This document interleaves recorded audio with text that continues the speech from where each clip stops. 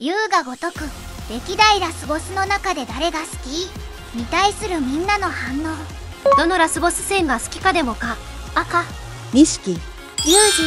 途中までこいつ桐生さんに負けすぎだろと思ってたけど最後の最後に印象巻き返した。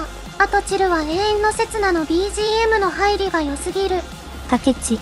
乱舞に切り替わるところかっこよすぎる。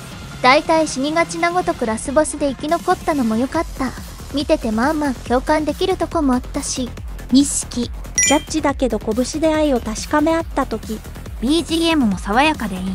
ラスボスより終盤のボスの方が好きなの多い気がしてきた。シリーズ恒例として因縁の相手が終わってから裏の真の敵が急にスポーンしてくるから仕方ないっちゃ仕方ない。好きなボスの印象の大半が戦闘に入る時の演出のかっこよさに引っ張られる。それがすごく最高にいい渋沢演出ならゴリラ。バカ RPG なのに QTE 入る演出が示唆に富んでて好き。一番もその時だけは勇者をやめてお互い肩書きも何も捨てて元のままで殴り合いするのがいい。ジョブレベル上げてなくてもちゃんと技が使えるようにしたのは偉いと思う。バカは青くから荒川に変わる演出が良すぎる。BGM だけなら相沢いろいろ言われる黒沢だけどファンタジーヤクザはびこる世界であの発言から何から地味なおっさんが近江の頂点として立ちはだかってきた構図がものすごく好き4の4連ボス戦好き拳痛いでノックダウンする大悟でちょっと笑他ではない万全の堂島の竜と勝ち合ってあれで済むの強いぞ。堂島の竜はこの俺だ。ボーイガイ桐生ちゃんいつも満身創痍だな桐生ちゃんが冴島と戦うことがまず罰ゲームだから。やっぱすげえわ。峰のラスボス戦が好きだけどこれに限らず桐生ちゃんが育ちすぎててどのラスボスも雑魚になってるのがね割合ダメージをうまいこと使えなかったのかなと思っちゃう。あんまりいないとは思うが相沢戦は演出とかも加味して好きなんすよね。BGM と演出は本当にかっこいいから困る極みの錦戦は階層を挟みながらの殴り合いが本当に良い。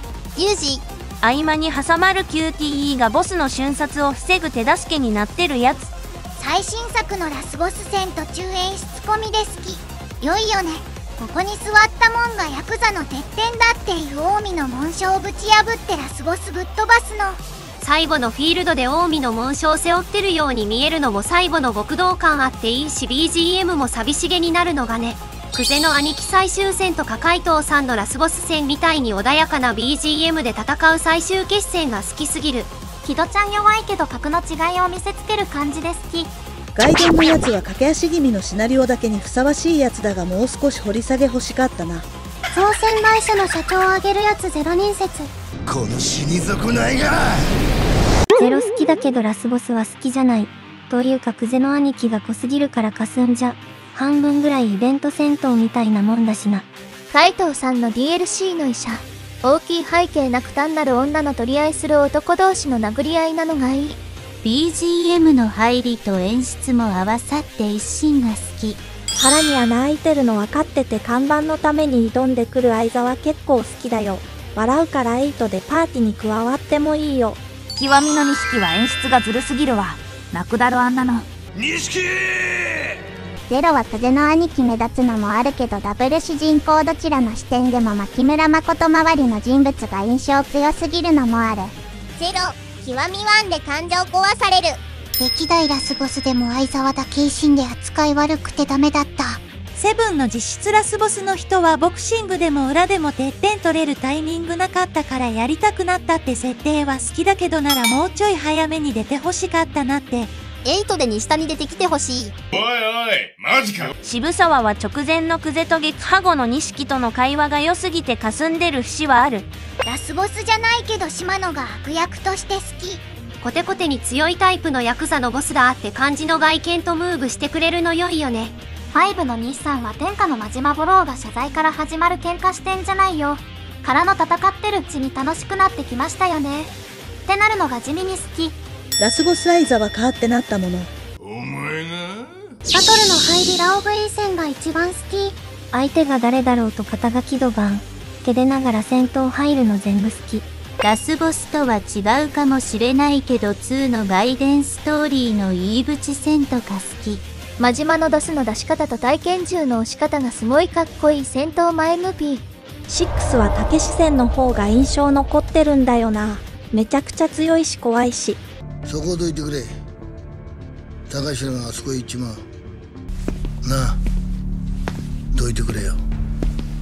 頼むよ。今ののあの感じで割と出張って体張ってるのも好き。レーザーに焼いてしまった記憶がある。レーザーはナンバ最下入時にやらかしてずっと封印したわ。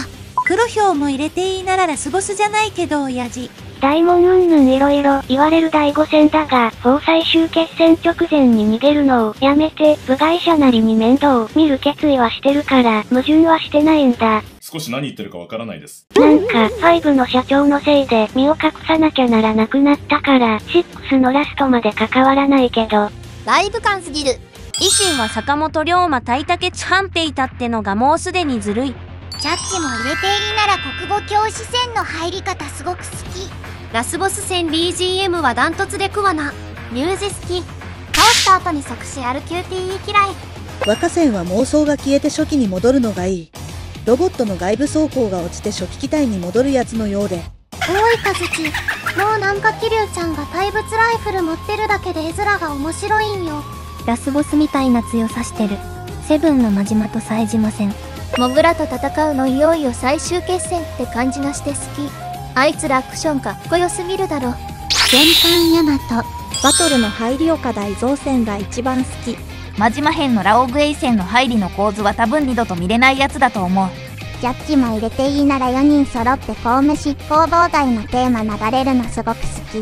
戦ボス演出なら社長死んだ後の久世戦の入り方があまりにも良かった。言い訳せず一発殴られて足引きずりながらメンチ切るの好き。ゼロのごとく脱ぎからの堂島の流対決が好き。常や最終戦の入りと演出が大好き。演出と BGM は基本いいから迷うな。バトルの入りだと相馬がクールで好き。中の人も突っ込んでたけどやっぱスーツが一瞬で脱げるのお約束だけどシュールだよな。ボタン一つ一つ外したり脱ぐ描写入れるよりははるかにマジである。カイトウの事件簿の一人だけ風のような爽やかさを作り出す医者。ミネセン、BGM と演出両方好き。とことんやってやるぜシックスの馬光音は何度も見てるとかわいそうになってくる。ファイブの黒沢が言ってたことに通じるけどあれだけ努力しても桐生みたいなカリスマ性のあるやつの前では所詮凡人でしかないんだよな。キシドはここ最近のラスボスの中ではかなり良かったわ。